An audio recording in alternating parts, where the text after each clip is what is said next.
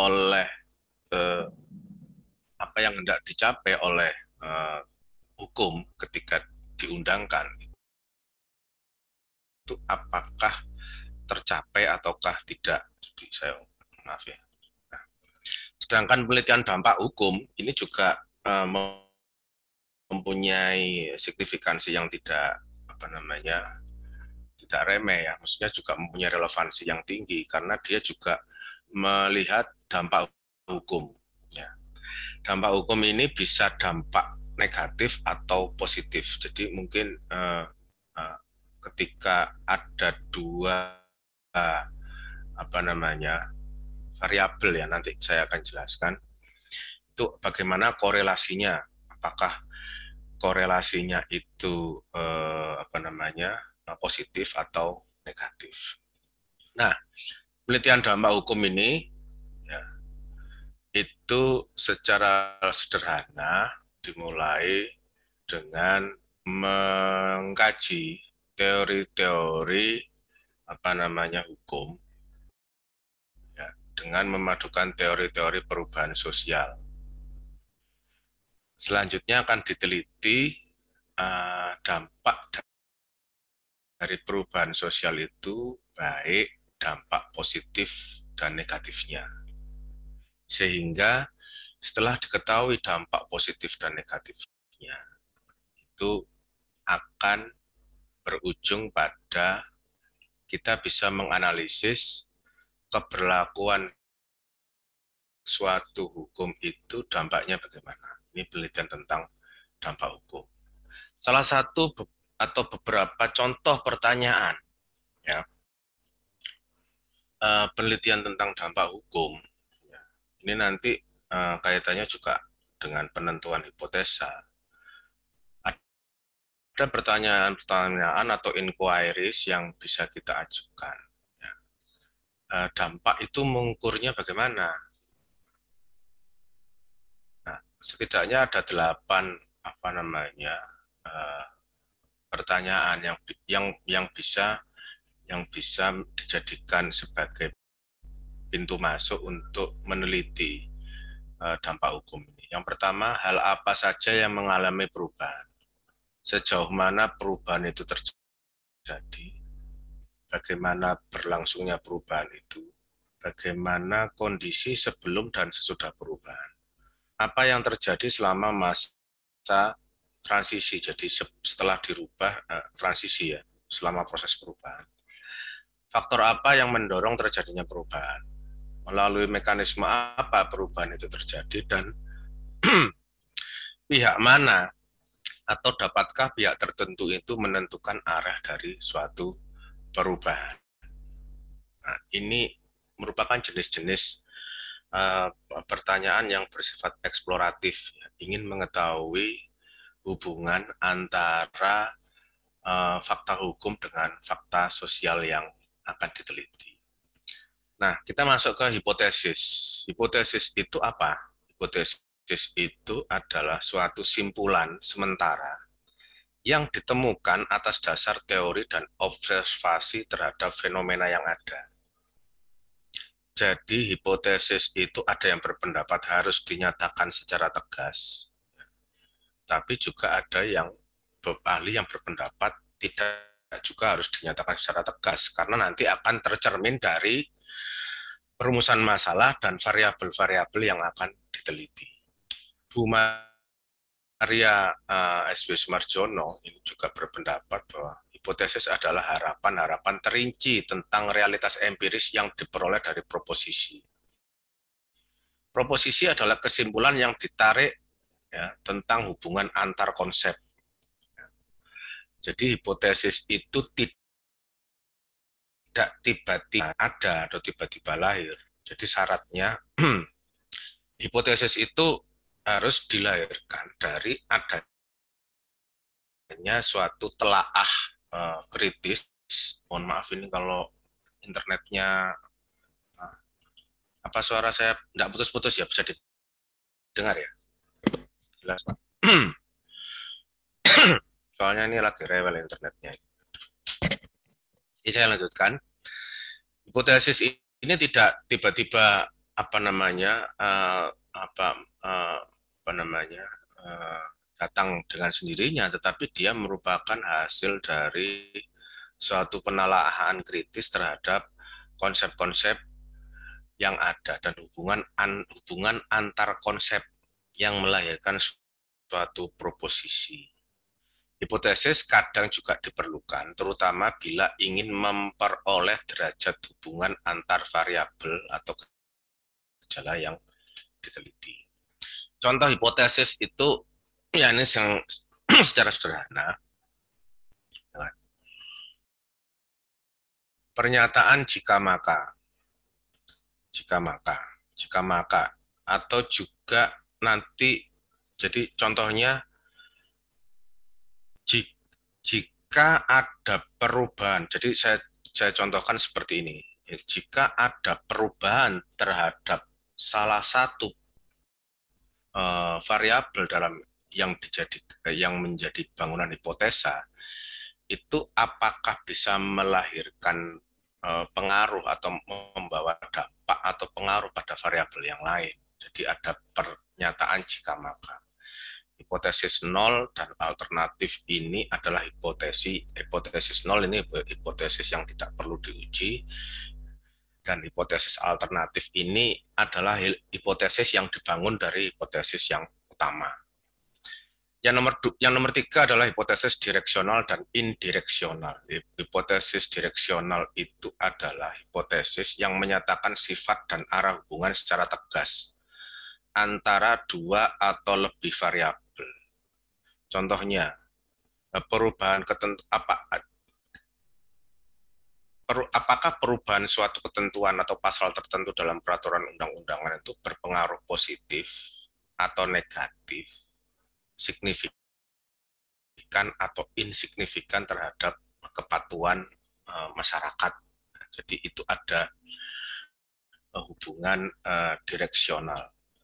Hipotesis non direksional rasional itu adalah hipotesis yang menyatakan hubung yang tidak menyatakan arah hubungan. Hipotesis ini digunakan bila satu belum ada teori yang menjadi landasan untuk menentukan arah hubungan. Jadi belum ada penelitian sebelumnya yang meneliti hubungan antara dua variabel yang diteliti. Ya. Yang nomor dua, menurut riset terdahulu ditemukan belum ada kejelasan hubungan. Nah, eh, sebagai contoh dalam penelitian hukum sosiolegal, ya, hipotesis itu penting untuk memberikan simpulan awal atas hubungan variabel yang ditentukan. Hipotesis yang baik harus memenuhi syarat menyatakan dua hubungan variabel. Dua variabel itu dapat diuji secara empiris. Artinya variabel tersebut dapat diukur dan dinyatakan bagaimana hubungan antar variabel tersebut. Nah, Eh, karena kita telah terbiasa dengan penelitian hukum yang sifatnya doktrinal, maka nanti akan akan apa muncul pertanyaan kritisnya. Bagaimana hubungan antar kon bedanya konsep dengan variabel itu apa? Konsep itu tidak dapat diukur, ya, sedangkan variabel ini dapat diukur jadi uh, kalau hubungan antar konsep ya itu uh, hubungannya bukan kausal, tapi kalau menurut Prof. Peter Mahmud itu hubungannya adalah apa itu namanya uh, hierarkis, ya, bukan antar konsep. Oke, saya lanjutkan. Nah, uh, William Good dan Paul Hart mengumpulkan hipotesis yang baik itu setidak-tidaknya satu mengandung konsep yang jelas, dapat diuji secara empiris, spesifik terinci, ya dapat ditunjang dengan teknik yang ada dan dapat dihubungkan dengan teori. Dihubungkan dengan teori. Dalam penelitian hukum yang bercok sosiolegal, kajian bisa berubah hubungan kausalitas antara fakta hukum dan fakta sosial, di mana hukum dipandang sebagai variabel independen, faktor yang mempengaruhi, atau faktor yang bersifat atau variabel yang bersifat meramalkan, sedangkan fakta sosial dipandang sebagai dependent variable atau faktor yang dipengaruhi atau variabel yang diramalkan. Jadi jika maka. Contoh, apakah uh, ketika ketentuan Undang-Undang Hak Cipta ini diubah dari uh, apa ya namanya ketentuan yang sifatnya itu delik uh, umum atau delik biasa menjadi delik aduan mempunyai perilaku bagaimanakah pengaruhnya terhadap tingkat pembajakan hak cipta. Jadi variabel uh, dependennya adalah perilakunya, variabel uh, independennya adalah uh, perubahan ketentuan uh, pidana dalam hak cipta. Nah, uh, saya sebenarnya agak kesulitan menemukan desain apa namanya desain operasional dari penelitian sosio legal. Tapi secara umum saya berusaha me menyampaikan desain penelitian dari sosio legal itu kira-kira ini mungkin bisa dikoreksi nanti seperti ini. Jadi uh, sumber masalah atau latar belakang masalah itu diuraikan atau diturunkan dari telaah baik secara telaah apa namanya teoritik maupun empiris sehingga nanti dari latar belakang itu bisa menimbulkan rumusan masalah. Setelah ada rumusan masalahnya, maka kita akan bisa membangun kerangka teoritiknya. Kerangka teoritik ini menjadi fondasi untuk perumusan hipotesis yang nantinya akan dimasukkan dalam suatu rancangan penelitian rancangan penelitian ini akan mengandung beberapa apa namanya uh, unsur-unsur elemen-elemen datanya bagaimana klasifikasi data yang akan diambil data primernya bagaimana data sekundernya bagaimana cara pengolahan data cara interpretasi data dan lain sebagainya. Sehingga secara deduktif ya itu nanti bisa diuji apakah uh, hipotesis yang kita berikan itu uh, teruji betul apa tidak, terbukti hipotesisnya uh, benar apa tidak, atau terbukti atau tidak. Jadi, jadi umpamanya seperti tadi, apakah uh, perubahan pasal tertentu itu memberikan dampak. Oh, ternyata tidak memberikan dampak. Ternyata tidak memberikan pengaruh. Ternyata perubahan undang-undang itu dalam pasal tertentu pengaruhnya tidak signifikan terhadap perubahan perilaku. Yang signifikan justru di aspek penegakannya dan lain sebagainya. Nah, eh, eh, sistematika atau desain penelitian dalam penelitian sosiologis itu dari bacaan yang saya baca itu uh, dari bukunya Bu kajian sosiologis itu kajian sosiologis itu bukan berarti dia tidak melakukan penelitian secara doktrinal tapi penelitian doktrinal itu dilakukan terlebih dahulu jadi langkah-langkahnya itu mengkaji secara doktrinal isu hukum yang muncul uh, dari uh, isu hukum normatif. Jadi objek penelitiannya itu bisa hukum positif, asas hukum, teori hukum yang dijadikan objek.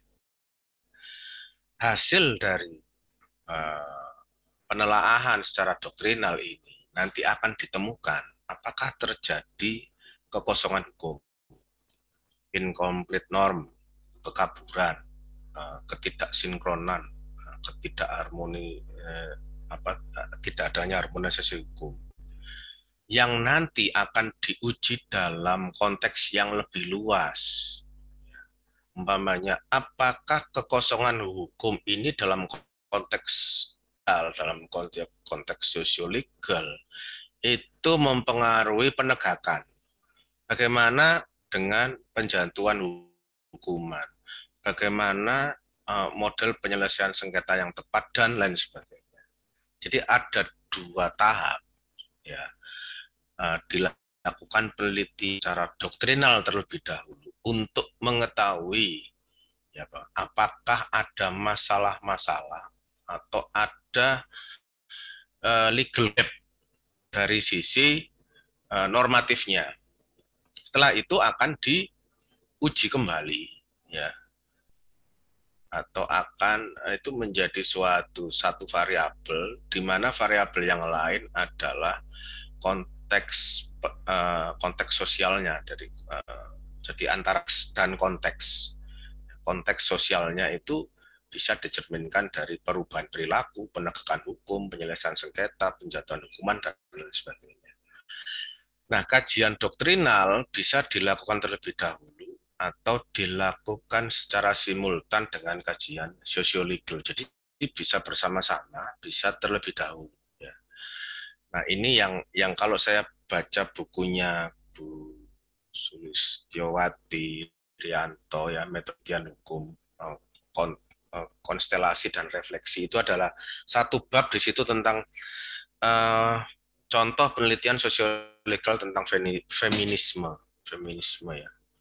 Jadi di situ beliau menyatakan bahwa harus diinventarisir bagaimana sih karakter hukum di Indonesia ini apakah terjadi bias gender apa tidak asumsi-asumsi itu atau pendapat-pendapat itu tidak mungkin muncul kalau tidak dilakukan penelitian secara nal terlebih dahulu. Ya, jadi tidak tidak berprasangka tanpa adanya teori. Ya.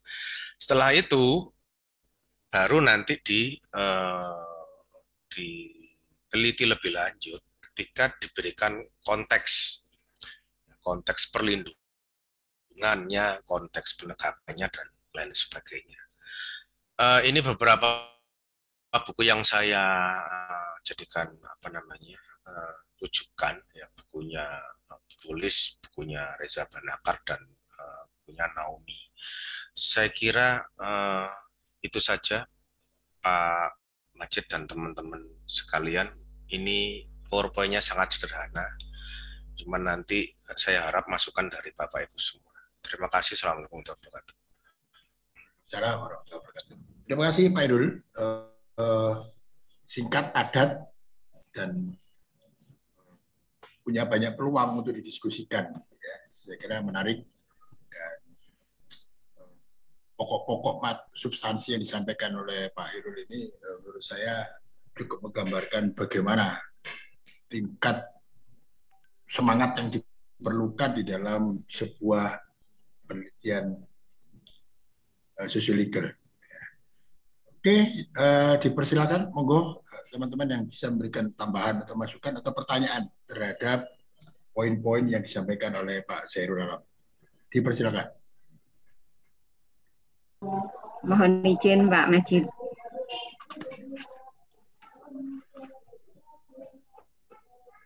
Ya, silakan Mbak. Oke, Assalamualaikum warahmatullahi wabarakatuh. Yang saya hormati Pak Majid dan teman-teman sekalian, eh, terkait kajian sosialegal yang disampaikan oleh Pak Irul tadi, eh, saya juga eh, mulai ini ya memahami terkait apa yang ditulis oleh Ibu siapa Sulistiawati. Nah itu bahwa sebenarnya kalau kita lihat kajian sosiolegal ini memang termasuk dalam penelitian hukum juga. Jadi kalau saya baca uh, bukunya Prof. Suteki, metodologi penelitian hukum, itu juga termasuk dalam uh, penelitian hukum. Jadi kalau menurut Prof. Suteki itu uh, penelitian hukum itu ada penelitian hukum doktrinal dan non doktrinal.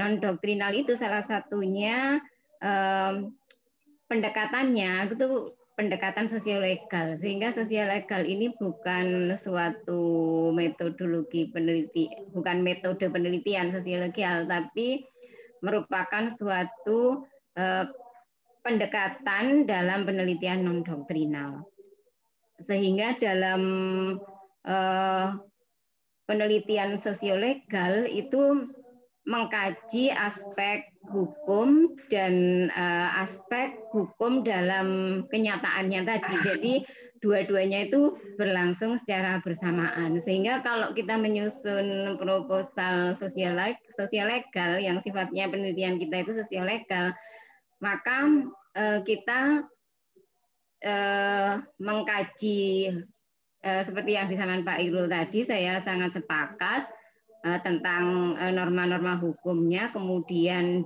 dampak norma hukum itu terhadap perilaku yang ada dalam masyarakat. Nah, ini saya mohon uh, pencerahan ya Pak Majid. Misalnya saya mengambil judul model pemilihan kepala daerah dengan satu pasangan calon dalam mewujudkan pemilihan umum yang demokratis. Jadi di sini kan uh, saya akan mengungkapkan tentang uh, aturan hukumnya tentang pasangan kepala daerah dengan satu pasangan calon itu seperti apa yang diatur dalam undang-undang pemilu dan kemudian dampaknya terhadap proses pemilu yang demokratis. Karena dengan adanya aturan eh, ini kemudian di secara politis perilaku partai politik itu ternyata kemudian berusaha untuk Eh, mencari kemenangan sejak awal. Artinya mereka kemudian eh, semua partai politik berkumpul eh, menjadi satu sehingga hanya ada satu pasangan calon itu perilakunya demikian. Apakah ini kemudian bisa kita katakan suatu penelitian sosiolegal? Gitu Pak Majid. Matur mohon pencerahannya.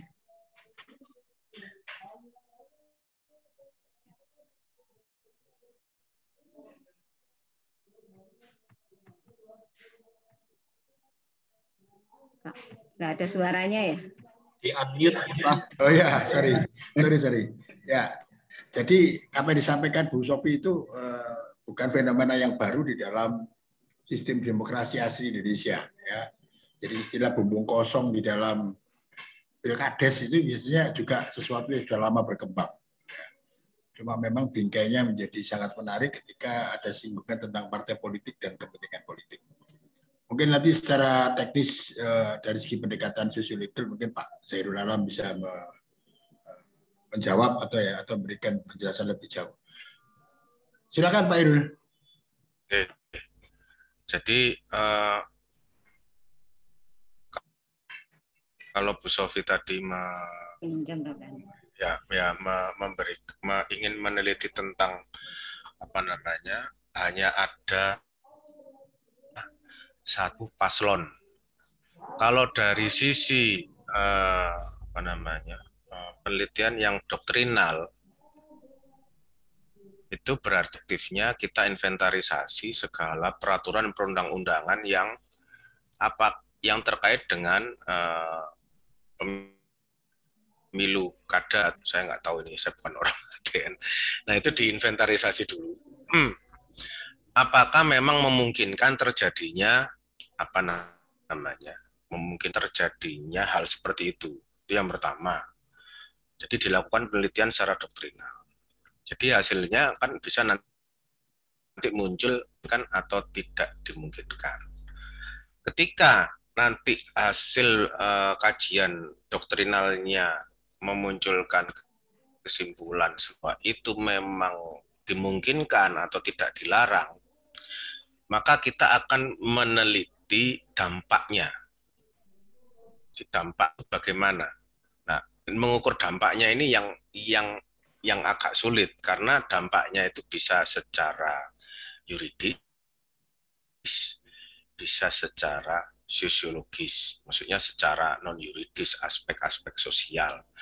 Nah, dampaknya ini ini uh, masuk pendekatan sosio legal itu ada sisi dampaknya. Umpamanya ketika ada uh, hanya ada, satu wakil apa namanya atau calon uh, kepala daerah yang ada itu berarti nanti akan dilihat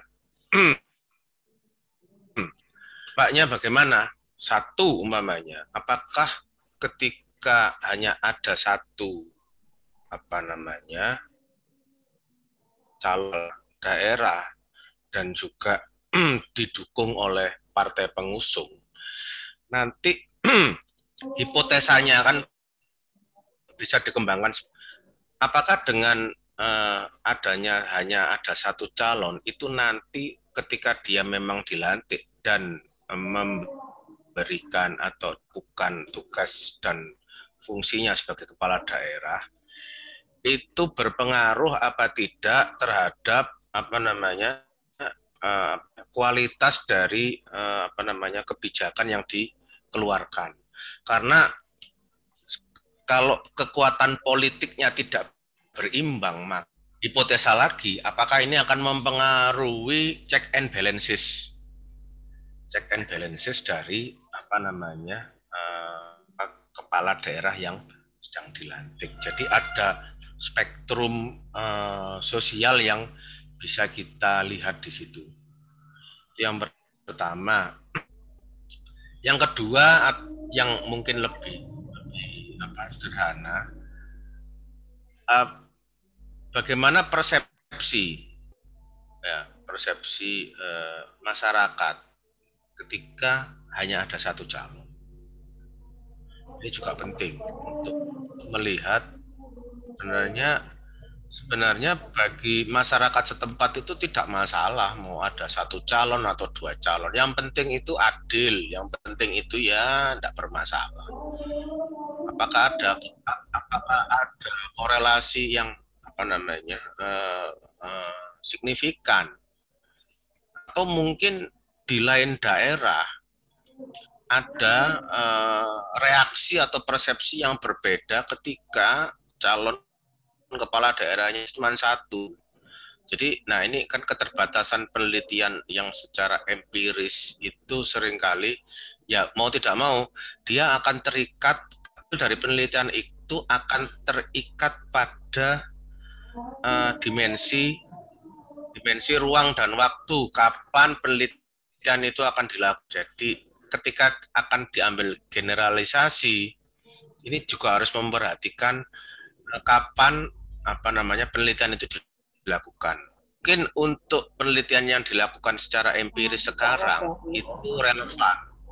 Oh, Tapi gitu ketika ya. itu dilakukan ya, lima tahun apa yang didapatkan hasil dari penelitian yang sekarang ini jauh berbeda, ada deviasi-deviasi. Nah, itu berarti buktikan bahwa hukum itu adalah experience. Jadi jadi bagaimana kita memadukan antara pendekatan doktrinal yang perseptual, yang abstrak, ya, yang berada di tingkat teoritis dan dipadukan dengan aspek-aspek yang bersifat empiris. Nah, kalau empiris itu uh, ya itu tadi, uh, kalau menurut saya ya, yang terikat pada dimensi uh, ruang dan waktu atau saya ambil siapa, kapan, dan di mana. Itu mungkin bisa berubah kalau instrumen penelitiannya, lokasi penelitiannya diganti.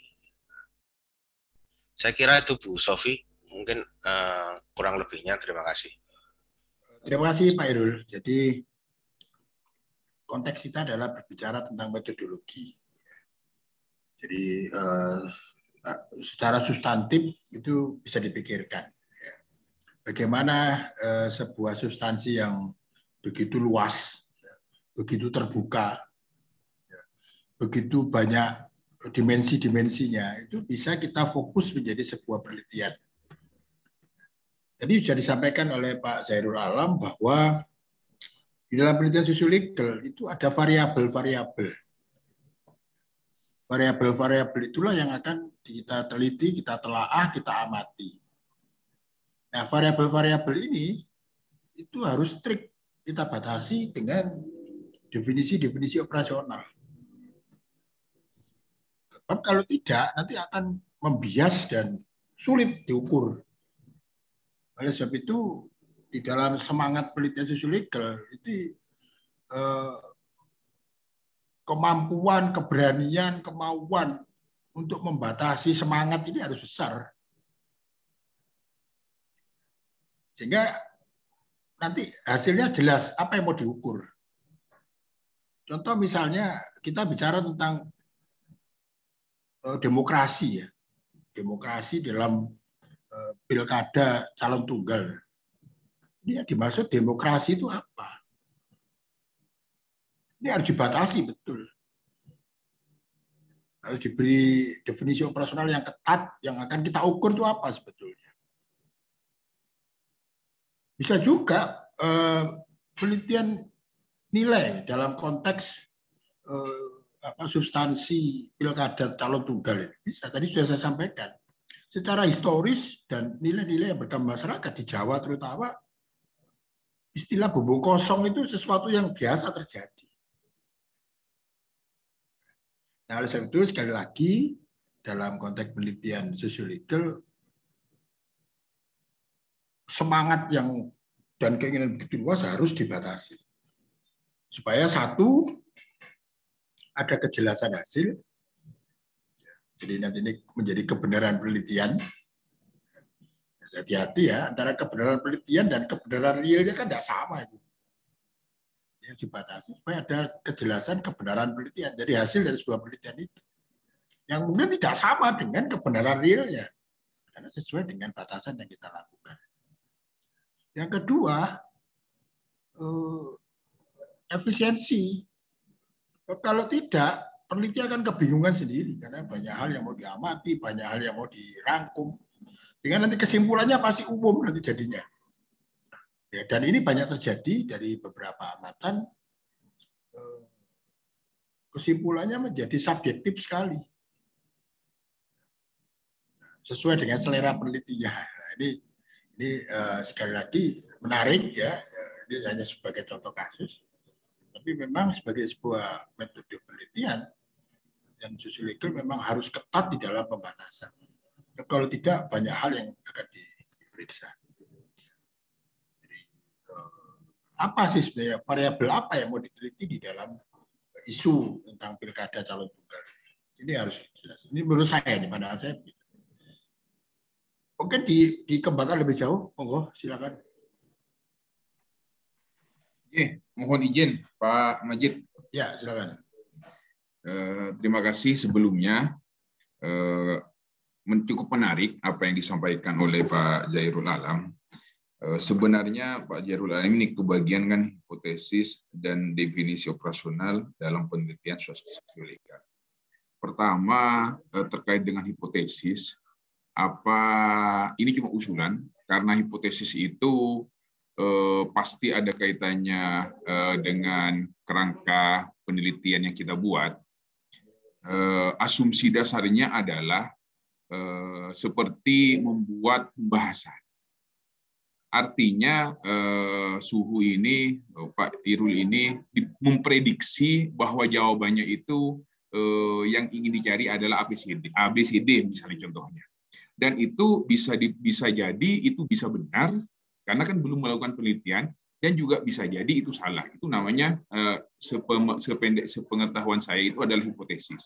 Sehingga eh, apa mungkin nanti eh, di bab ini dimasukkan misalnya terkait dengan logika, terkait dengan silogisme supaya memperkaya kita bahwa hipotesis itu kan artinya memprediksi. Nah, ini terkait dengan hipotesis. Tentu prediksinya tidak asal sembarang karena Eh, proposal itu kan sudah ada arah eh, kita ke depan itu eh, seperti apa penelitian desain penelitian yang kita buat itu yang pertama yang kedua terkait dengan definisi operasional yang pen, yang perlu dijelaskan pula adalah terkait dengan pertanggungjawaban konsep yang akan kita buat yang kita masukkan di dalam judul rencana penelitian yang akan kita lakukan pertanggungjawaban konsep ini akan menjadi penting eh, tatkala nanti dirumuskan dalam eh, definisi operasional. Artinya akan membatasi biar eh, definisi konsep yang kita berikan itu tidak melebar ke mana-mana dan hanya khusus dalam konteks penelitian ini. Kalau misalnya di mata kuliah Pak Istislam sebelumnya itu minimal kan ada dua eh, konsep kalau misalnya normatif. Tapi kalau yang sosiolegal ini ada eh, dua variabel. Eh, sehingga nanti antara variabel yang satu dengan variabel yang lainnya itu masih ada hubungan keterkaitan. Tentu yang perlu dimasukkan eh, di bab ini adalah cara merumuskan eh, definisi eh, operasional. Kriterianya seperti apa? Misalnya diambil di judul atau mungkin perlu konsep yang ingin diperjelas yang menjadi poin-poin dalam rencana penelitian ini atau poin-poin dasar yang menjadi inti dari permasalahan yang kita kaji dalam penelitian sosio legal. Tentu ini tidak mudah, sehingga di situ perlu diberikan uh, semacam ilmu untuk menyusun itu, atau semacam cara untuk merumuskan itu. Karena kalau kita berbicara uh, desain secara utuh, tentu bab ini ada hubungan dengan bab-bab yang, yang sebelumnya, misalnya tentang Eh, karakteristik sosiolegal dan eh, pengertian penelitian sosiolegal itu sendiri. Itu tambahan dari saya. Terima kasih. Mohon maaf apabila ada kekurangan. Terima kasih Pak Imam. Jadi seperti saya sampaikan memang harus ada eh, pengetatan di dalam membatasi semangat itu. Karena seorang peneliti itu ketika di proposal itu idealismenya sangat tinggi. Tapi begitu sudah menjalani dan sampai di tahap pelaporan itu biasanya sudah sudah kehabisan stamina dan nyerah itu. Ya wis terserah lah nanti apa katanya pembimbing gitu ya. Ini ini sering terjadi begitu di dalam realitanya. Jadi memang betul sekali lagi memang harus di, harus membatasi semangat itu sejak awal supaya jelas yang mau diukur apa. Dan variabel itu ada tiga. Tidak ada dua, tapi ada tiga independen, independen dan intervening. Ya, jadi itu uh, yang nanti mungkin bisa ditambahkan di dalam uh, karya tulisnya ya untuk mengukur. Saya kira bagus Pak Imam. Uh, jadi yang terpenting di dalam penelitian sosiologis adalah ada persoalan di apa, persoalan definisi operasional, ada variabel, ada hipotesis, ada temuan. Ya, ini dan, dan dari beberapa kali uh, saya menguji dengan program Budiono yang yang sangat uh, ketat di dalam sebuah legal riset itu uh, kadang-kadang dia bisa menerima bahwa antara hipotesis dengan temuan itu tidak tidak selalu tercapai dan itu wajar terjadi. Monggo, masih ada komentar dari Pak Sairul atau dari teman-teman yang lain? Silakan. Saya ya, ya menambahi Pak Majid. Sebenarnya uh, yang dikatakan Pak Imam nanti akan saya uh, jadikan masukan ya nanti dalam review yang lain. Memang uh, betul kata Pak Dr. Majid, definisi operasional ini memberikan batasan terhadap uh, interpretasi tentang variabel hipotesa dan asumsi-asumsi yang akan menjadi elemen bangunan uh, desain penelitian kita. Kalau terlalu luas, ini juga nanti juga bisa menghasilkan bias. Nah, uh, mungkin uh, kalau dalam penelitian hukum yang uh, empiris kuantitatif ya, itu saya ingat kuliahnya Pak Dr. Istislam. Itu Eh, peneliti itu tidak boleh tidak boleh berasumsi tidak boleh berasumsi dalam arti kata ya, ya sudah datanya seperti itu ya kita bertugas secara deskriptif menjelaskan eh, apa hasil dari penelitian yang sudah dilakukan empiris.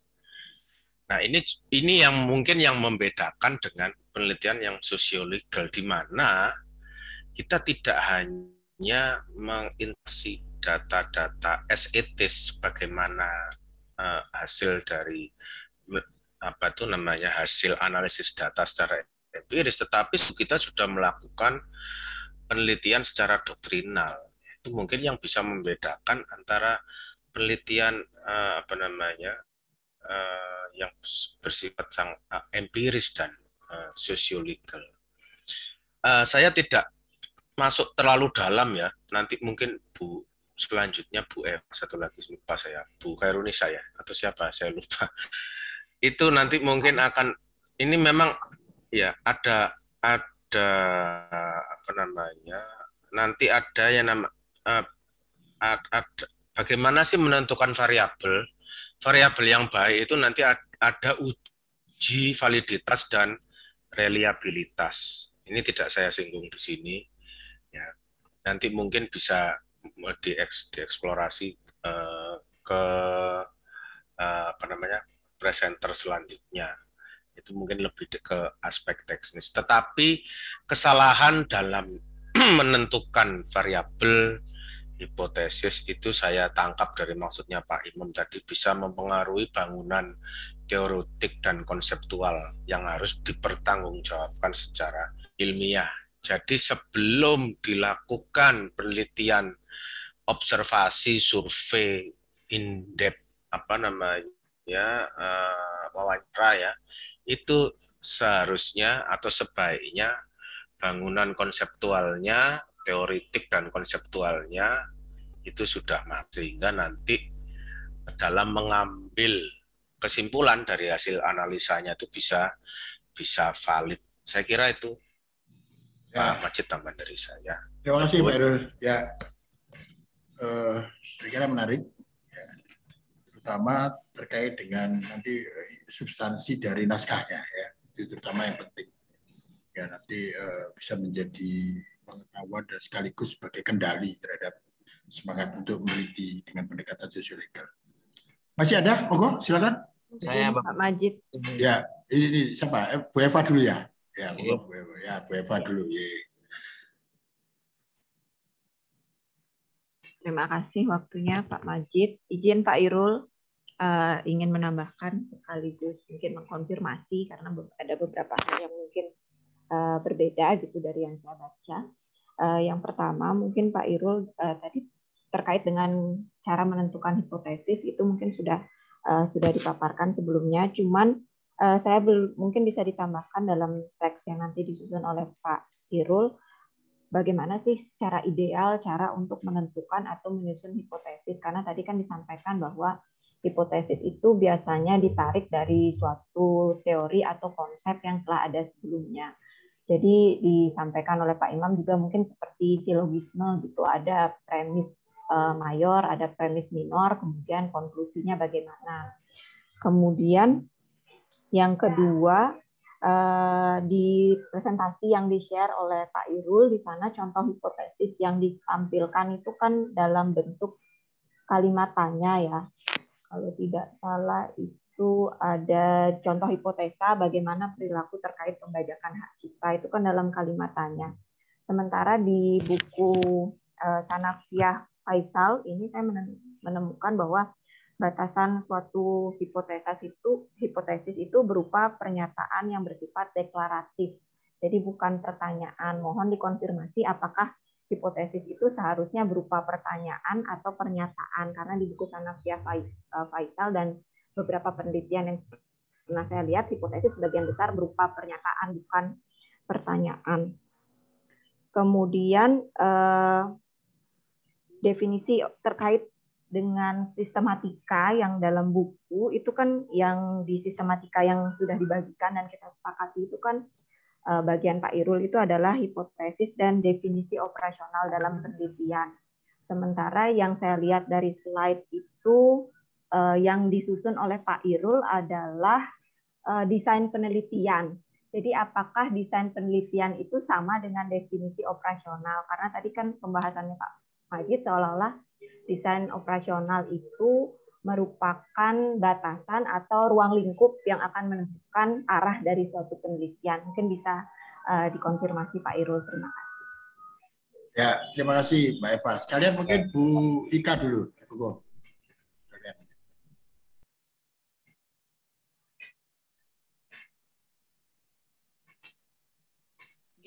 Pada dasarnya sama Pak, hampir mirip apa yang disampaikan Pak Imam sama Mbak Eva. Intinya mengenai urgensi hipotesa dalam sebuah penelitian sosiologis itu seperti apa? Karena bayangan saya kan dan seperti yang disampaikan di suaranya kecil ya, Pak. Sebagaimana yang sudah disampaikan di kelas-kelas sebelumnya bahwa buku yang akan kita susun ini kan dijadikan pedoman penulisan untuk melakukan penelitian baik yang sifatnya normatif, doktrinal ataupun non doktrinal di sini sosiolegal seperti itu. Jadi memang ya kita lebih juga menampilkan hal-hal yang sifatnya teknis. Apa misalnya hipotesa, kenapa perlu hipotesa dalam sosiolegal, urgensinya seperti apa, kemudian fungsinya hipotesa dan tujuannya menyusun hipotesa sampai kemudian bagaimana kita menentukan hipotesa dan kemudian tadi Bu Sofi mencontohkan kalau misalnya penelitian yang dengan tema isu pilkada dengan satu calon, bagaimana penyusunan hipotesanya seperti itu. Nah, kalau masalah contoh mungkin terserah eh, kita ya, terserah dari penyusun penulis bagaimana merumuskan hal itu. Itu yang pertama. Kemudian yang yang kedua adalah eh, saya coba melihat kalau di penelitian doktrinal kan secara spesifik ditentukan saya misalnya kebagian metode penelitian doktrinal, tapi ketika sosiolegal itu kan tidak ada bab tersendiri mengenai eh, metode penelitian sosiolegal, tapi kemudian itu sudah dibagi-bagi dalam misalnya Pak Irul hipotesis, kemudian nanti selanjutnya teori, eh, data dan sebagainya. Nah, padahal sebenarnya saya ini agak eh, curcol lah istilahnya. Ketika menyusun penelitian empiris itu Pak apa namanya Pak Majid, pendekatannya itu pasti menggunakan pendekatan sosiologal, pendekatan pendekatan sosiologis normatif misalnya seperti itu. Padahal kan tidak cukup di situ, padahal di sana juga ada aspek-aspek lain yang digunakan. Misalnya tadi yang dicontohkan Pak apa namanya? Eh, Bu Sofi itu kita isu hukumnya adalah pilkada satu calon, tapi kemudian kalau menggunakan sosiologal kan apakah aspek normatifnya mengiyakan, tapi faktor-faktor apa aja mendukung tadi Pak Majid menyampaikan aspek historis. Nah, ketika mengkaji aspek historis kan ada ilmu sejarah yang harus kita gunakan di sana. Ada teori-teori sejarah dan pendekatan-pendekatannya sendiri. Apakah tidak sebaiknya juga kita ada satu bab tersendiri yang mengkaji metode penelitian dan pendekatan dalam sosiologi disertai dengan eh, contoh-contoh penelitiannya. Kemarin juga misalnya Pak Irul kita diskusi tentang kebebasan berpendapat itu kan teman-teman ketika ngomong bagaimana mengukur pemahaman masyarakat untuk melihat apakah negara sudah mengakomodir kebebasan berpendapat seperti itu. Kemudian muncul teori apa Pak teori persepsi di sana. Nah ini kan pendekatannya juga berbeda. Bagaimana menguraikan itu dalam sebuah metode penelitian. Saya bertanya ini Pak, mungkin itu dari saya, Maternu. Ya, pertanyaan ya pertanyaannya Bu Tias sekaligus wanti-wanti bahwa sebuah penelitian sosiologi itu banyak aspek yang harus diperhatikan. Ya, memang begitu, karena kita akan mengukur gitu ya, tidak asumtif. Oke, nanti kita diskusikan lebih jauh. Uh, Pogo, sampai dari Pak, ya Pak Faroh, ya silakan. Terima kasih atas waktunya Bapak Abdul Majid. Sebenarnya saya nggak mau mengusulkan berkaitan dengan masukan-masukan yang tadi disampaikan oleh Bapak Cairul. Cuman saya ingin bertanya saja Pak. Tadi sudah sedikit disinggung oleh bias berkaitan dengan urgensi hipotesis itu. Karena banyak dari beberapa referensi khususnya uh, di Fakultas Syariah di UIN itu ketika pendekatannya juga pakai katakan penelitian hukum empiris atau sosiolegal itu sering kali uh, tidak dipakai yang namanya hipotesis. Nah, apakah yang saya tanyakan itu apakah hipotesis ini menjadi sebuah keharusan ataukah hanya sebatas ya ya menyesuaikan dengan konteksnya aja gitu. Itu yang pertama. Yang kedua, tadi ya, Bapak Zairul, Pak Zairul itu di dalam slide-nya tadi ada pembahasan tentang jenis-jenis jenis-jenis penelitian sosiologis. Nah, ini justru uh, membingungkan saya berkaitan dengan apa dengan fokus kita ketika kita uh, melakukan sebuah kajian berkaitan dengan sosiolegal itu. Nah, apakah jenis-jenis penelitian sosiologis itu uh, sebenarnya adalah penelitian uh, hukum empiris? Karena saya juga pernah membaca berkaitan dengan objek penelitian hukum empiris salah satunya itu mengukur terhadap dampak hukum dan efisiensi itu sendiri. Nah, mungkin bisa diperjelas lagi begitu, Bapak. Terima kasih atas waktunya. Mohon maaf. Assalamualaikum warahmatullahi wabarakatuh. Assalamualaikum.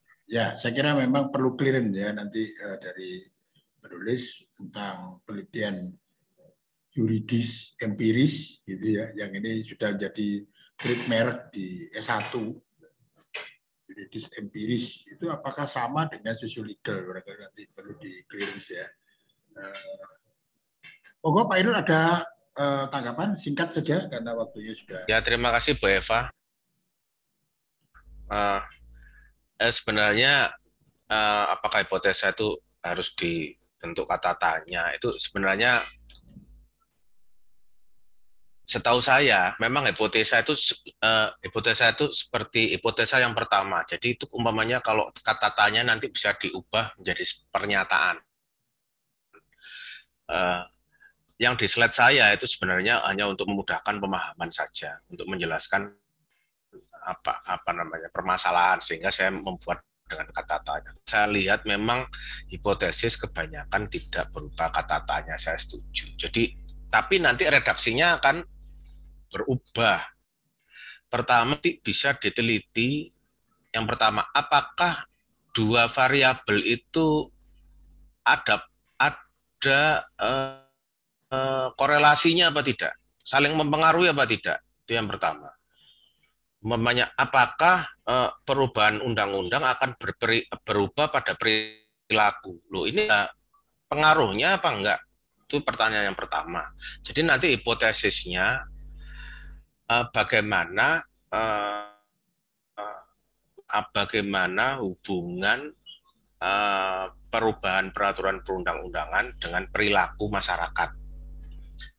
Atau juga bisa di apakah hubungan itu bersifat linier atau tidak. Maksudnya linier itu begini. Kalau variabel satunya positif, maka variabel uh, uh, yang lain ya variabel uh, dependennya juga positif. Jadi itu berbanding lurus. Tapi ada juga yang berbanding terbalik. Ini mengetahui pola hubungan variabel. Jadi nanti di hipotesisnya begini, lain lagi dengan uh, pengetatan uh, ya pengetatan uh, pengaturan akses internet akan berpengaruh secara negatif terhadap kebebasan berpendapat. Jadi pengaruhnya itu tidak sama-sama positif, tetapi kalau naik yang satu turun. Jadi ada pola pengaruh yang berbeda-beda. Atau juga hipotesisnya begini. Uh, jadi jadi yang diteliti bisa apa, uh, apakah ada hubungan yang pertama antara variabel satu dengan variabel kedua. Yang nomor dua, apa ada pengaruh?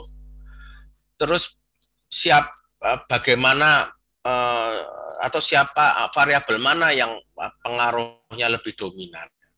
Nomor tiga, uh, faktor apa yang paling berpengaruh. Itu kalau variabelnya lebih dari satu, apa namanya variabel independennya lebih dari satu. Nah, itu pola-pola itu nanti dinyatakan dalam suatu hipotesis yang bukan ber, yang berupa pernyataan. Jadi pernyataannya eh, pengaturan pembatasan akses internet di Papua berpengaruh pada akses uh, atau berpengaruh berpengaruh kepada pelaksanaan kebebasan pendapat untuk uh, warga negara yang tinggal di Papua. Itu hubungannya berarti tidak linier tapi saling kalau yang satu diperketat yang satu akan apakah itu nanti meneliti tentang pola hubungan Terus nanti mungkin juga bisa diteliti umpamanya apakah memang kebebasan dalam konteks ini ya, apakah memang uh, pola pendekatan yang dilakukan oleh pemerintah itu adalah pola yang tepat? Apakah tidak ada alternatif yang lain nanti juga bisa dinyatakan dalam hipotesis yang uh, berupa pernyataan. Jadi itu nanti akan saya revisi. Bu, memang pertanyaan untuk memudahkan pemahaman saja.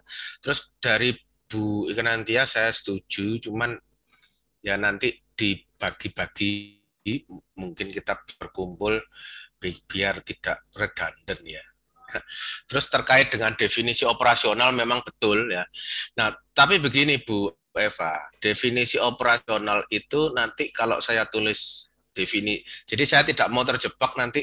Definisi operasional, eh, definisi operasionalnya itu nanti saya nanti me, hanya menulis hipotesa adalah variabel adalah variabel independen. Saya tidak mau terjebak di situ.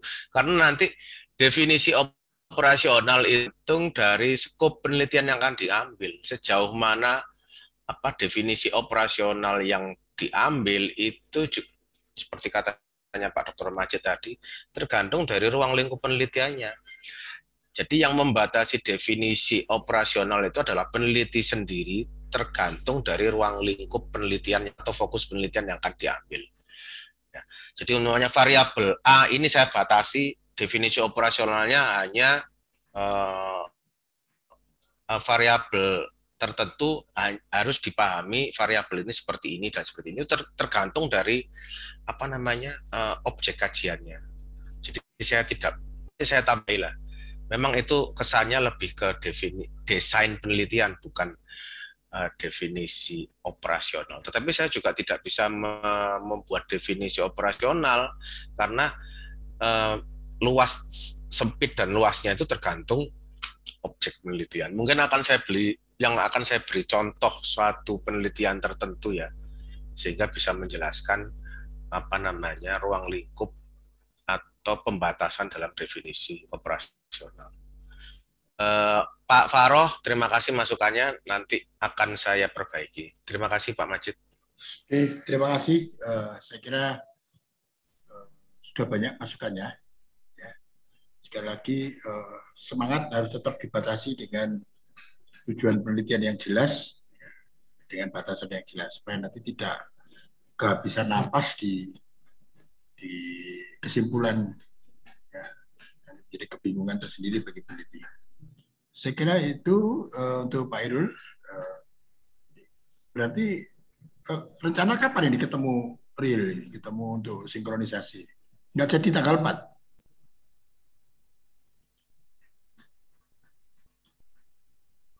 Apa Hmm. Atau Kalau tanggal selesai... 17 itu sekalian ngumpulkan tugas bagaimana Pak? Loh, apa bisa jadi apa kan sudah jadi berarti. Ya sebelum itu mestinya. Ya monggo lah terserah jenengan ya karena ini sifatnya uh, apa uh, sekaligus apa ya rekreatif lah gitu ya. Jadi ketemu kangen-kangenan gitu ya karena tidak pernah ketemu ya biar tahu. Oh tiba Mas Kukuy kayak ngono tuh gitu ya. biar sekaligus refreshing Mas Kuku tidak terkungkung di Solo aja ya. Iya, ya, Insya Allah. Ya. ya. Mogo, kalau bisa sebelum tanggal 17 supaya apa? Tanggal 17 itu sudah sudah real.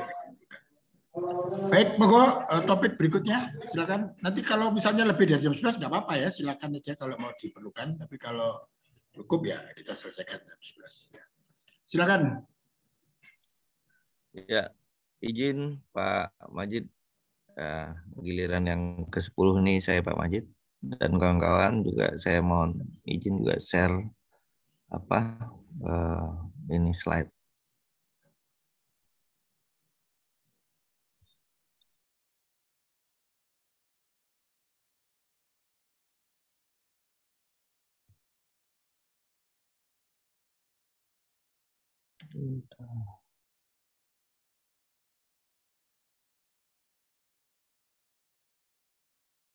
Apa udah kelihatan ya, teman-teman? Sudah, Pak, sudah. Bismillahirrahmanirrahim. Assalamualaikum warahmatullahi wabarakatuh. Selamat pagi dan salam sejahtera untuk kita semua. Uh, saya kebagian di bab yang ke-10. Uh, eh, tepatnya membicarakan di situ tentang teori dalam penelitian sosiolegal. Uh, buku yang direncanakan ini tampaknya memang lebih mengistimewakan tampaknya ini mengistimewakan mohon maaf nih kalau saya salah mengasumsikan lebih mengistimewakan terhadap uh, penelitian sosiolegal karena di dalam sosiolegal sendiri dibagi uh, bab secara uh, tersendiri berbeda dengan doktrinal kemarin uh, secara umum saja. Nah, kali ini saya memang kebagian teori dalam penelitian sosiolegal. Tentu dalam membuat ini juga saya mengacu kepada kajian-kajian terdahulu kawan-kawan yang terakhir Pak Airul itu ah, belum masuk itu. Saya belum dapat ini. Mudah-mudahan ini dapat diperkaya lagi nanti setelah uh, saya presentasikan.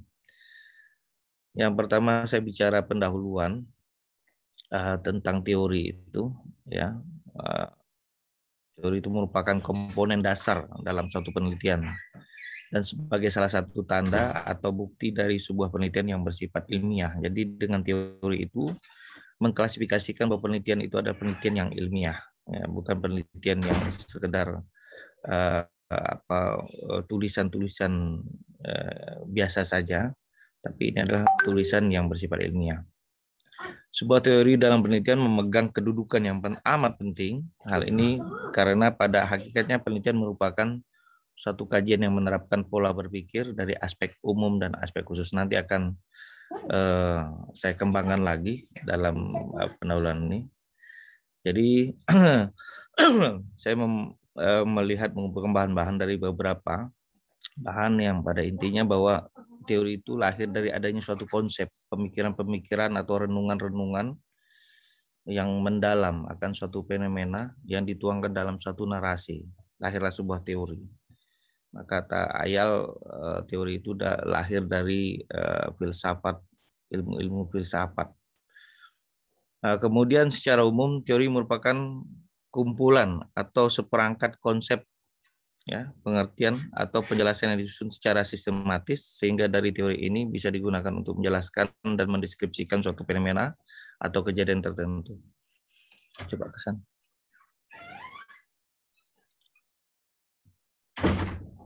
Uh, lebih lanjut saya mencoba mendefinisikan teori. Saya mengadop beberapa pengertian banyak sekali uh, pengertian uh, atau definisi definisi teori yang diberikan oleh pakar. Ini penting menurut saya definisi ini untuk mengkategorikan, memilah-milah teori-teori itu apa yang bisa dikatakan teori dan apa yang tidak bisa dikatakan teori. Jadi pertama saya mengambil pengertian teori menurut Corbita uh, menurut Corbita, uh, Giorgio Corbita, definisi teori terdiri dari beberapa hal. Sebagai berikut, misalkan satu set pro proposisi yang terhubung secara organik. Kemudian dia memiliki tingkat abstraksi dan generalisasi yang lebih tinggi dari kenyataan empiris. Kemudian berasal dari pola empiris, jadi kenyataan yang ada, kemudian bersifat prediktif dan dapat diuji, dapat disanggah, Nah, dapat dibenarkan juga.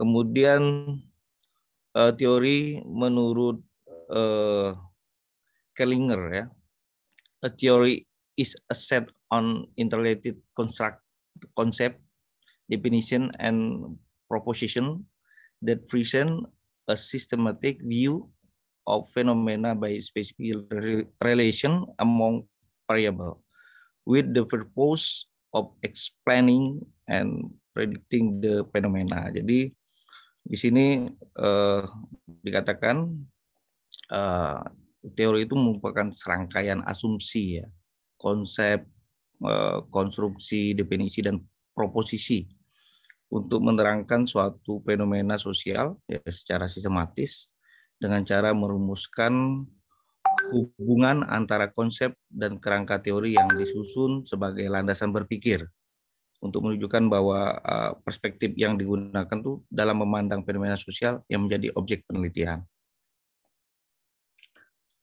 Kemudian bentar. Uh, saya mengambil pengertian dari Ari dan kawan-kawan teori merupakan sebuah seperangkat konstruk, konstruksi, konsep dan proposisi yang paling yang saling terkait yang menyajikan penjelasan fenomena dan membuat prediksi tentang hubungan antara variabel yang relevan dan dengan fenomena yang tersebut. Hampir eh, sama eh, pengertiannya juga menurut Suhar Saputra. Biasanya sebuah teori itu terdiri dari sekumpulan konsep juga yang lazimnya diikuti oleh proposisi antara konsep sehingga tergambar suatu hubungan yang logis dalam suatu kerangka berpikir. Kemudian ini banyak sekali nih, mohon maaf kawan-kawan untuk memperkaya saja. Nanti boleh dikasih masukan. Teori menurut Kenneth Eh, teori merupakan suatu upaya untuk menjelaskan gejala-gejala tertentu serta harus dapat diuji. Ya. Suatu pernyataan yang tidak dapat menjelaskan dan memprediksi suatu uh, bukanlah teori. Lebih jauh, Kenneth menyebutkan bahwa uh, komponen-komponen dasar dari teori adalah konsep, uh, komponen dasarnya, dan variabel. Ini menurut James, uh, a theory can be defined uh, as a set of propositions that explain the relationship among uh, observed phenomena.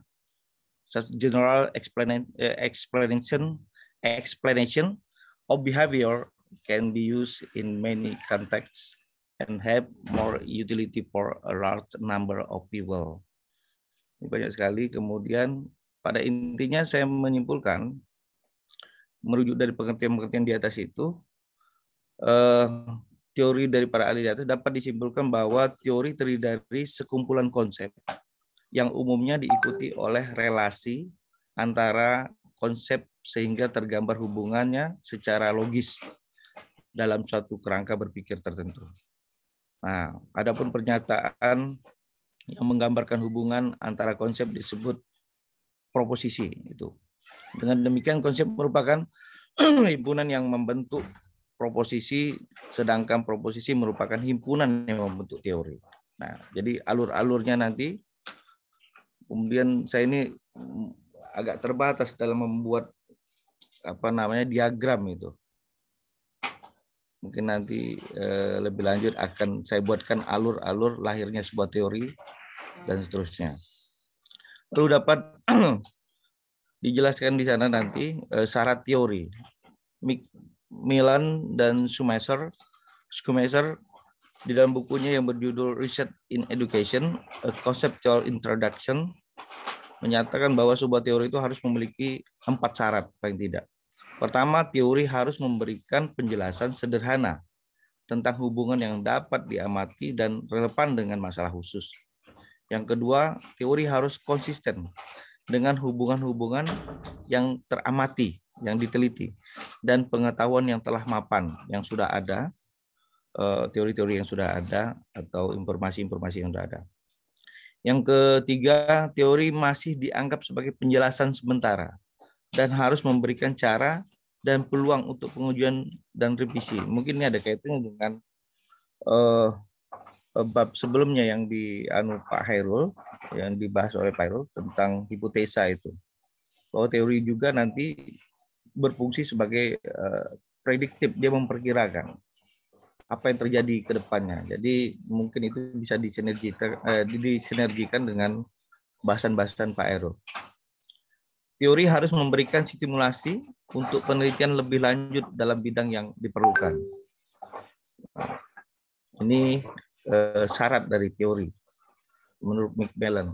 Masih menurut Macmillan, kriteria teori itu sendiri bahwa sebuah teori harus dapat menjelaskan fakta-fakta yang dapat diamati berkaitan dengan masalah tertentu. Di dalam hal ini, sebuah teori harus dapat menjelaskan mengapa dan bagaimana suatu fenomena terjadi.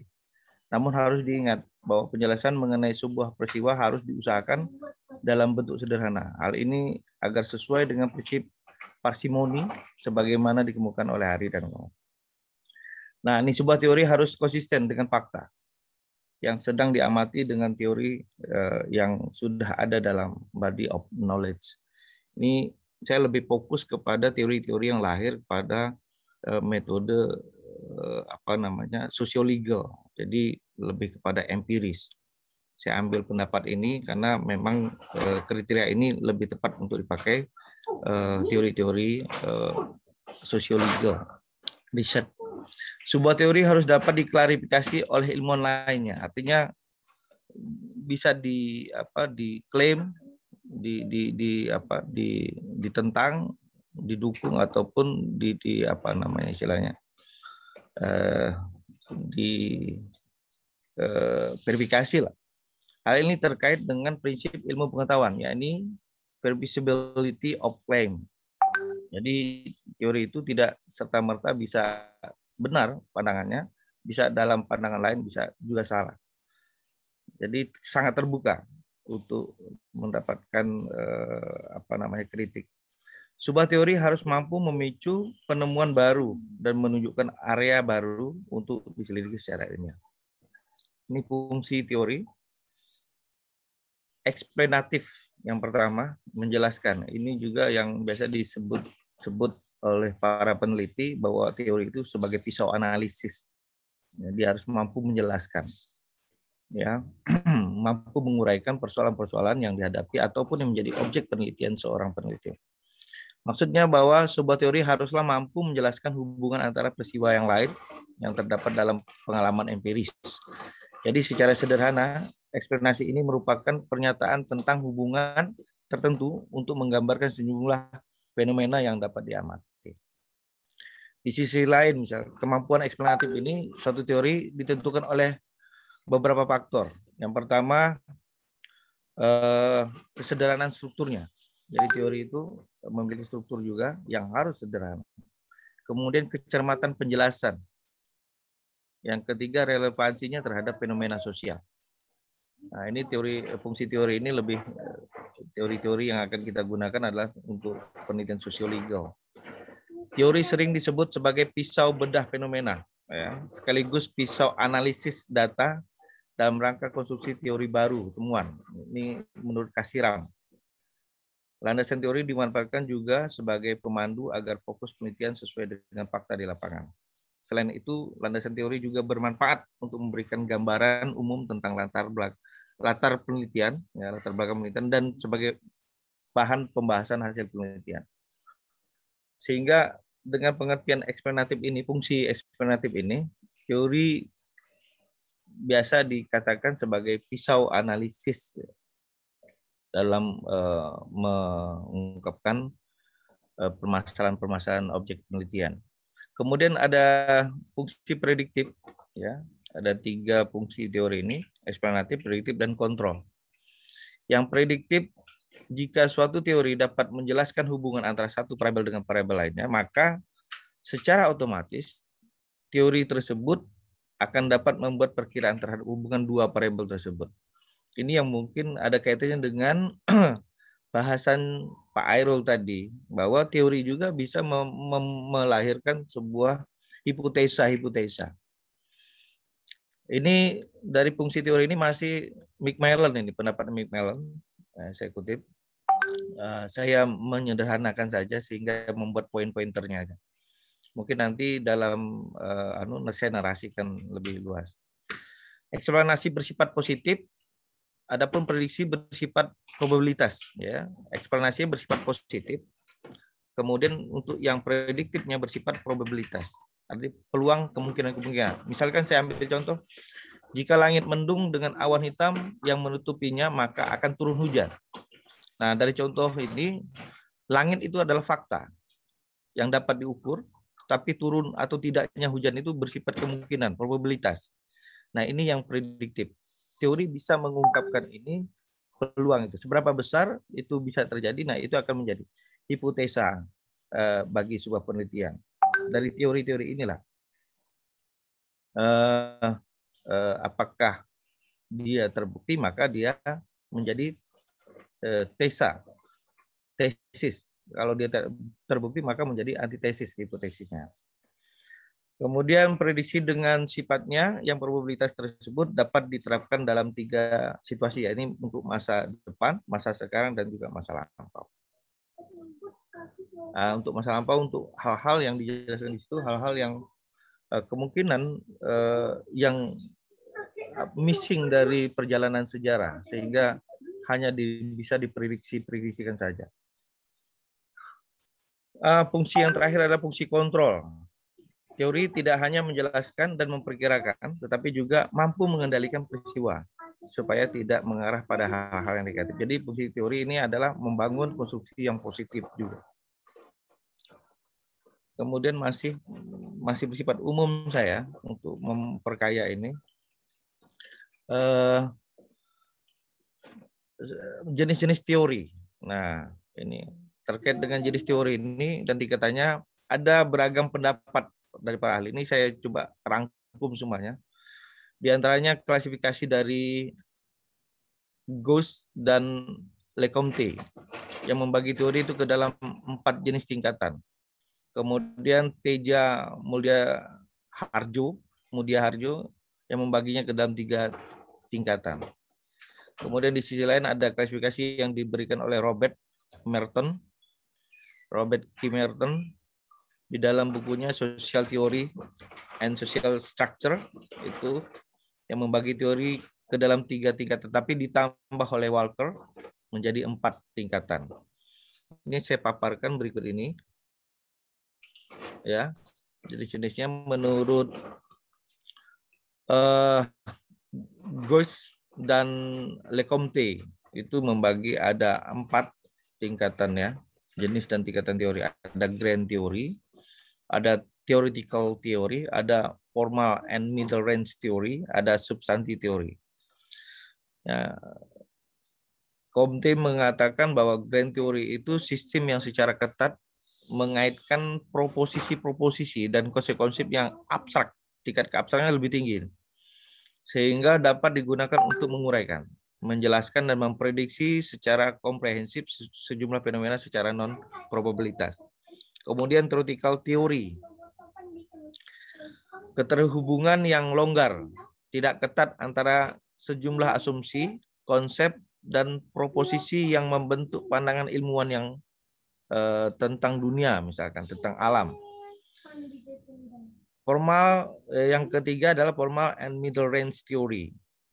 Ini formal dan middle range theory ini eh, menengah, tingkatnya menengah merupakan proposisi yang berhubungan yang dikembangkan untuk menjelaskan beberapa kelompok tingkah laku manusia yang abstrak. Nah, kalau teori-teori yang lahir nanti, ini yang saya belum manu, nanti mudah-mudahan diperkaya oleh teman-teman. Kemudian yang terakhir adalah yang keempat menurut Lecomte adalah substansif teori.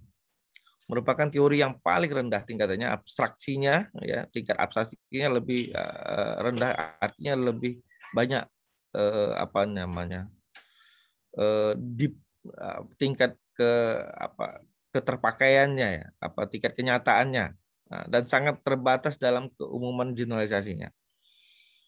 Kemudian saya mengambil juga memaparkan eh, jenis dan tingkat teori menurut Teja Mudia Harjo.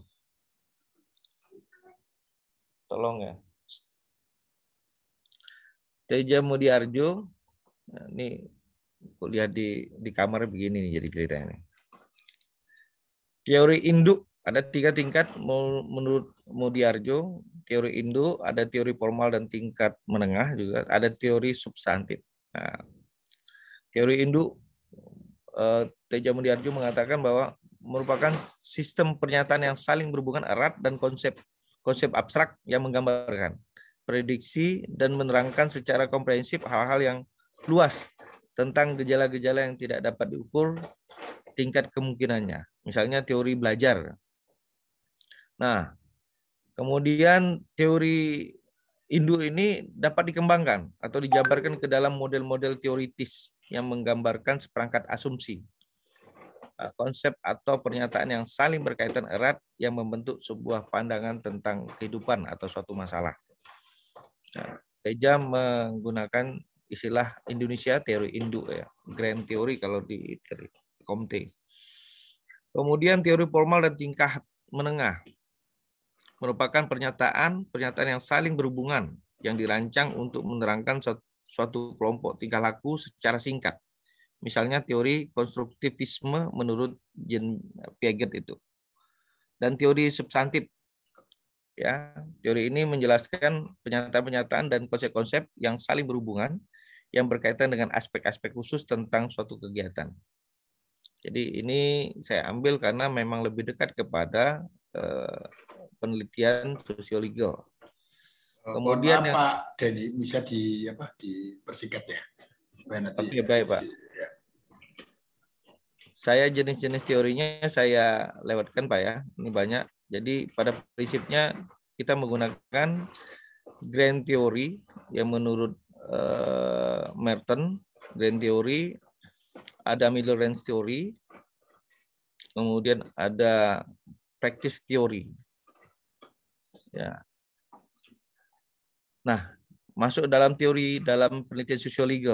Metode sosiologi mengacu pada bagian-bagian ilmu sosial yang memberikan perhatian pada hukum, proses hukum atau sistem hukum. Pendekatan ini menggabungkan konsep dan teori dari berbagai disiplin ilmu untuk mengkaji fenomena hukum. Jadi sosiologi harus kita sepakati dalam buku ini adalah merupakan penelitian hukum juga tapi penelitian hukum dengan eh, apa menggunakan teori-teori atau pendekatan-pendekatan eh, eh, apa namanya ilmu sosial lainnya. Jadi interdisipliner di sini. Sehingga tidak lagi terisolasi dari konteks-konteks sosial, politik. Jadi ilmu, sosial itu di, eh, di mana fenomena hukum tersebut muncul. Jadi eh, yang membedakan sosiologi itu adalah adanya kombinasi antara teori-teori hukum dan teori-teori ilmu lainnya. Jadi disebutlah eh, apa nama penelitian interdisipliner. Studi sosiolegal merupakan kajian terhadap hukum dengan menggunakan pendekatan ilmu hukum maupun ilmu-ilmu sosial. Pendekatan analisis hukum ilmu hukum ini diperlukan untuk mengetahui isi dari legalisasi, legislasi, dan kasus hukum. Namun pendekatan ini tidak menolong memberi pemahaman tentang bagaimana hukum bekerja, dalam kenyataan sehari-hari dan bagaimana hubungan hukum dengan konteks kemasyarakatan. Jadi ingin dikatakan bahwa kalau kita hanya mengkaji uh, uh, masalah hukum itu dari sisi doktrinalnya saja, itu tidak akan mampu mengetahui bagaimana hukum itu bekerja di tengah-tengah masyarakat. Jadi memang perlu dikembangkan penelitian-penelitian yang bersifat sosial-legal agar mengetahui apakah hukum itu sudah bekerja di masyarakat? Bagaimana sikap masyarakat terhadap adanya hukum eh, dalam eh, apa eh, hubungannya satu sama lain? Kemudian saya mengacu kepada yang sudah dipresentasikan oleh Pak siapa Pak Setiawan. Ya, ini karena kita terintegrasi dalam menyusun buku ini memang semacam bunga rampai tapi satu sama lainnya berkaitan. Jadi saya mengacu kepada itu yang sudah dijelaskan Pak eh, Setiawan yang membagi ada empat karakter itu ya. Nah, salah satunya ada teori eh, ada dalam karakter dua itu pendekatan teori-teori sosiological, eh, sociological, sociological, eh, sociological jurisprudence teori yang digunakan di situ dikatakan oleh Pak Setiawan ada teori efektivitas hukum. Nah, adalah teori mengkaji dan menganalisis tentang keberhasilan, kegagalan dan faktor-faktor yang mempengaruhi dalam pelaksanaan dan penerapan hukum. Nah, ada tiga fokus dalam kajian teori ini. Yang pertama, keberhasilan dalam pelaksanaan hukum. Kedua, kegagalan di dalam pelaksanaannya dan yang ketiga adalah faktor-faktor yang mempengaruhinya. Ini dalam sociological jurisprudence, jurisprudence. Kemudian ada teori eh, teori hukum dan pembangunan yang dipelopori oleh Profesor Mokhtar Kusumat Maja di tahun 70-an ya. Dalam Lilik Mulyadi mengatakan bahwa hukum merupakan suatu alat untuk memelihara ketertiban dalam masyarakat. Mengingat fungsi fungsinya sifat hukum eh, pada dasarnya adalah konservatif. Artinya hukum bersifat memelihara dan mempertahankan yang telah tercapai. fungsi demikian diperlukan dalam setiap masyarakat, termasuk masyarakat yang sedang membangun, karena di sini pun ada hasil-hasil yang harus dipelihara, dilindungi dan diamankan. Akan tetapi masyarakat yang sedang membangun, eh, ini kepotong ya, yang sedang membangun itu perlu mendapatkan keteraturan di dalam sistem hukum di Indonesia. Jadi konsep teori hukum pembangunan itu yang menurut Mokhtar Kusumat Maja uh, ini ada tetap ada karena ini konsep teori hukum dan pembangunan uh, memang lahir dari faktor kondisi masyarakat Indonesia dan memang ini khusus untuk masyarakat Indonesia. Jadi tetap ada dan sampai saat ini masih dipergunakan. Jadi teori ini uh, biasa dipakai bisa dipakai dalam satu penelitian sosiologal ya penelitian sosiologal. Kemudian ada teori konflik ya dalam sosiologi hukum.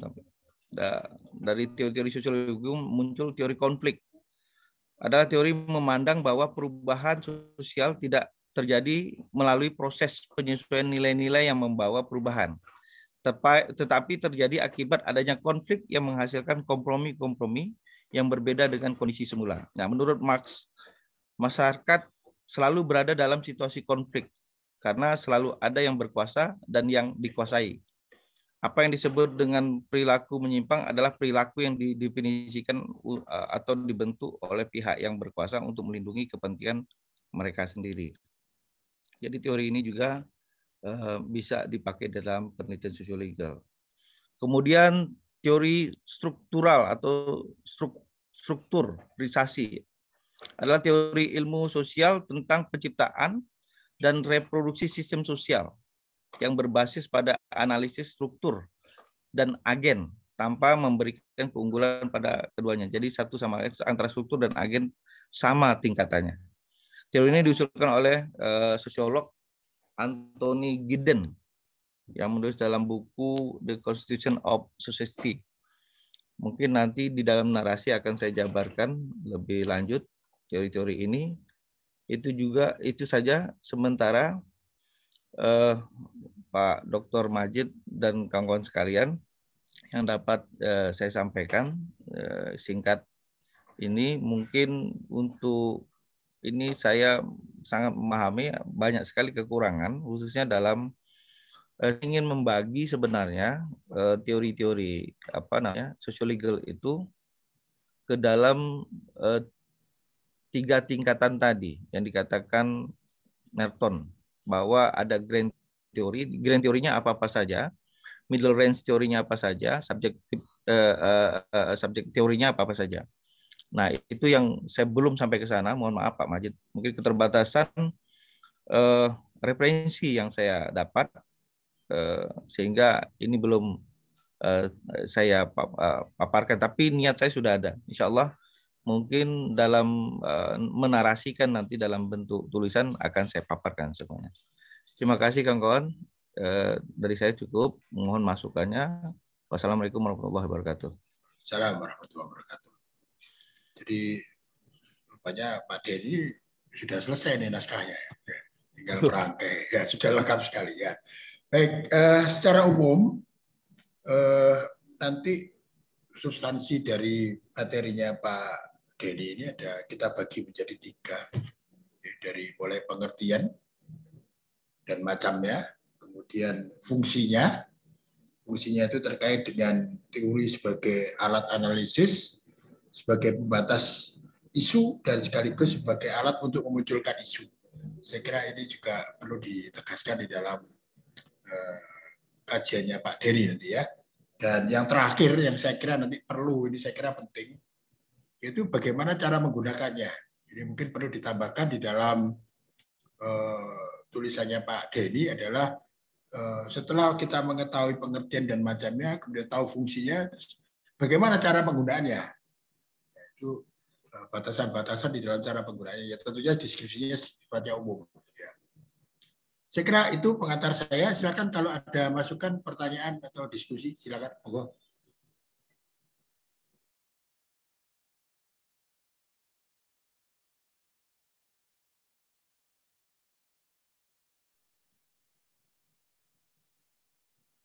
atau memang ini sudah dianggap lengkap gitu Oke, terima kasih ya. Pak Majid. Oh ya, silakan. Monggo.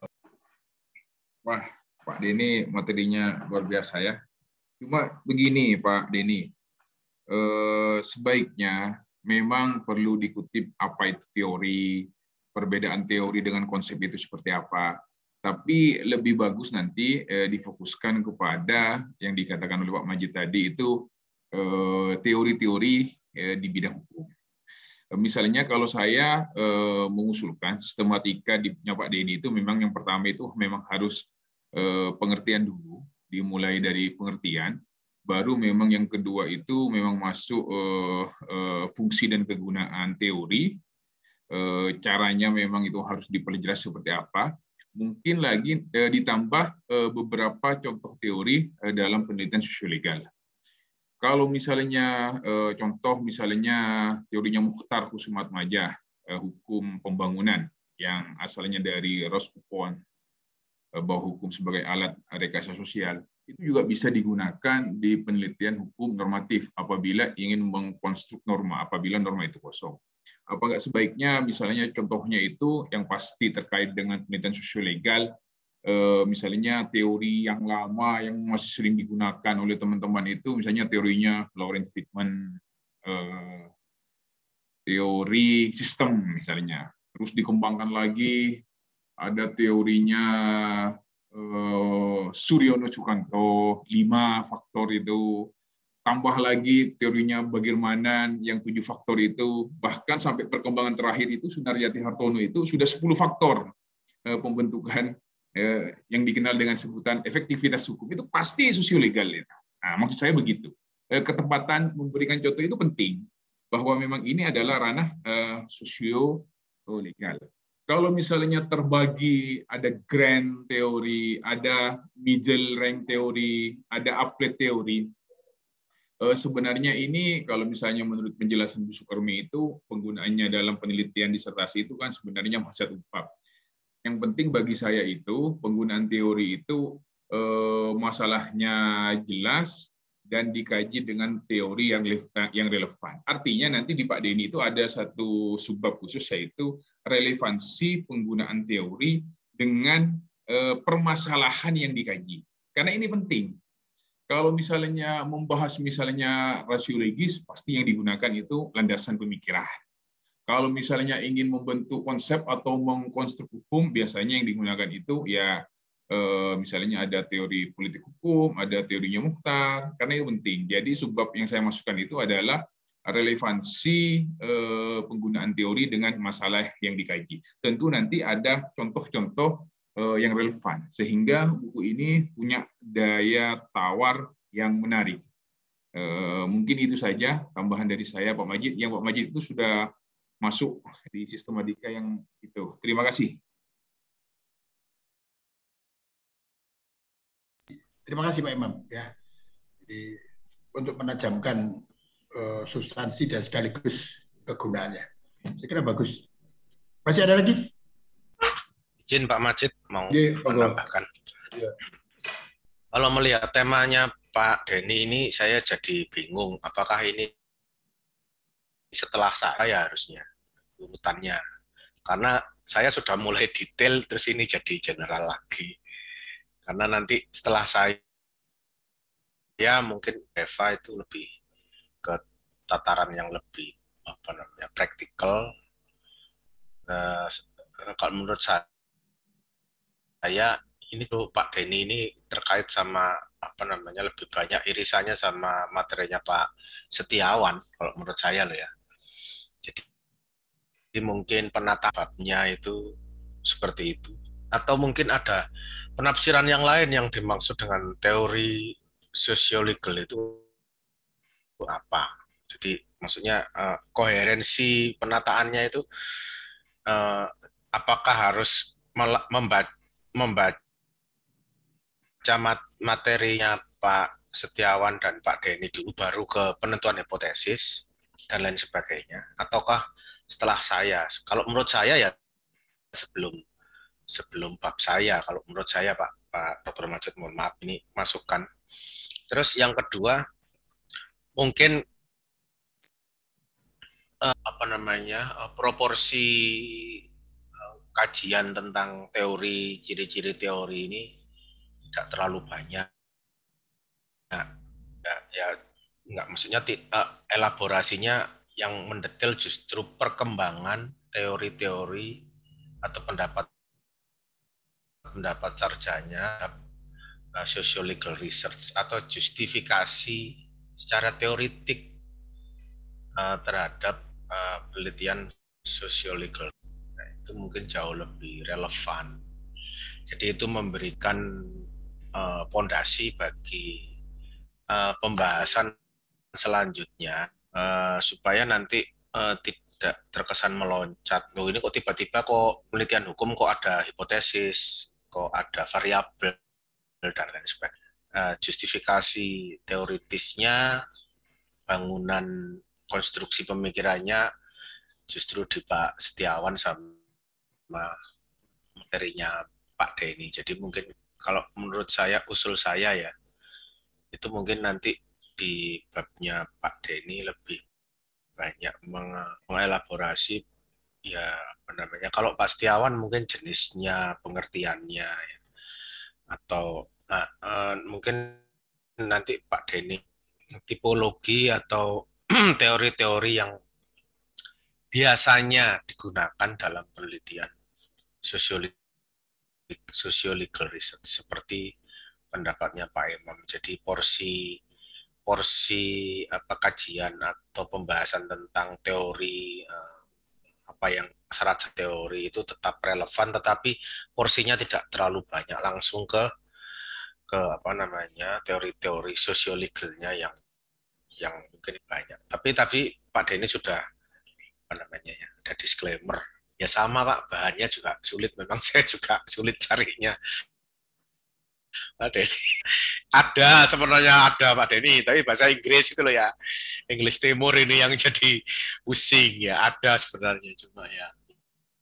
Ya nanti pelan-pelan ya nanti kita bahas pelan-pelan di highlight apa apa keywordsnya, poin-poinnya nanti sehingga sehingga ya tidak saking integral tapi koheren koheren itu enak nyambungnya bridgingnya dari bab satu ke bab selanjutnya itu tidak saja lengkap ya koheren ya. Tapi monggo mawon nanti bagaimana uh, Pak Denny dan teman-teman nanti merumuskan supaya tidak terlalu juga tidak ya berbobot lah. Gitu.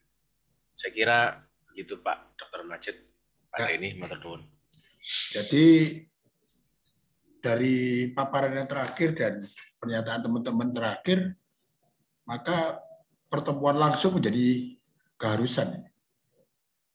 Jadi ya, supaya betul-betul clear nanti gitu. Penataan substansi, penataan sistematika itu betul-betul harus dilakukan ini, harus ketemu gitu, ya. Moga dirancang sohibul bednya siapa, moga teman-temannya di malam bisa mengatur sendiri. Ya. Saya kira itu ada lagi masukan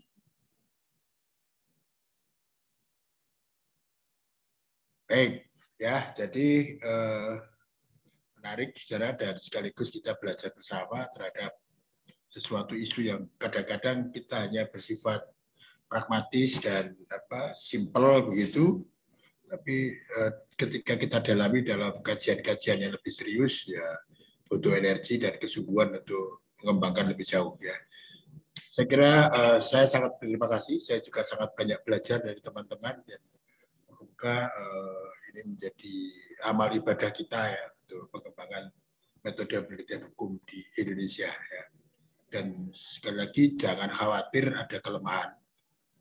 Dan moga-moga setelah buku ini nanti beredar banyak masukan, banyak kritik dan kita punya tanggung jawab untuk memperbaiki bersama atau nanti akan dibebankan kepada adik-adik kita gitu ya. Tapi kalau bisa ya kita bertanggung jawab. Jadi sekali lagi ketemu menjadi keharusan ini ya. Pak Irul, Bu Tias menjadi panitia, Sohibul Bed dan Mas Setiawan ya harus mengatur dan menyiapkan kedatangan para tamu kita ya. Baik, eh, demikian kalau tidak ada lagi masukan, saya kira tepat sekali waktunya sudah sedikit. Oke, ya. Siap. Ya, jadi masih ada masukan Mas Faron? Sampun, Oh. Bapak, sampun. Eh, saya pikir menawarkan diri sebagai sohibul bed, monggo. Mana Pak Subuh, Bapak? Pak ya, ya, monggo. Ya. Yang punya villa di Batu bisa digunakan tuh ya, yang punya villa, ya, monggo. Insya Allah Pak Majid, dari saya nanti villanya Pak Majid. Oh, siap, mantap itu ya. Oke.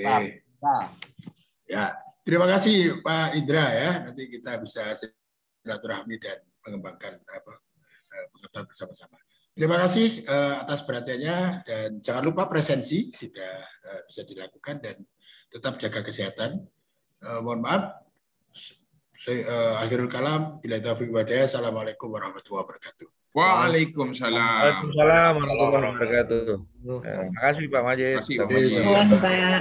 Sehat selalu, Pak.